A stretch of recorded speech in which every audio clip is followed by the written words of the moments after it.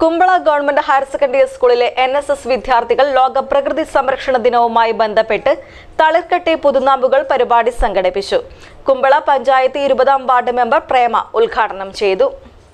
This news brought to you by functional instruction in retail management powered by ABC Academy. പ്രകൃതിയെ സംരക്ഷിക്കാൻ വിദ്യാർത്ഥികൾ മുന്നോട്ട് വന്നതിനെ വാർഡ് മെമ്പർ അഭിനന്ദിച്ചു. കഴിഞ്ഞ വർഷത്തെ സപ്തദിന ക്യാമ്പിൽ നാമ്പ് പദ്ധതി പ്രകാരം വാളണ്ടിയർമാർ തയ്യാർ ചെയ്ത സീഡ് ബോളുകൾ ഷിറിയ നഞ്ചിക്കട്ട പുഴയോരത്ത് നിക്ഷേപിച്ചു. School principal Divakaran K seed ബോളുകൾ കുട്ടികൾക്ക് കൈമാറി. പ്രോഗ്രാം ഓഫീസർ സുമേഷ് ചടങ്ങിൽ അധ്യക്ഷത വഹിച്ചു.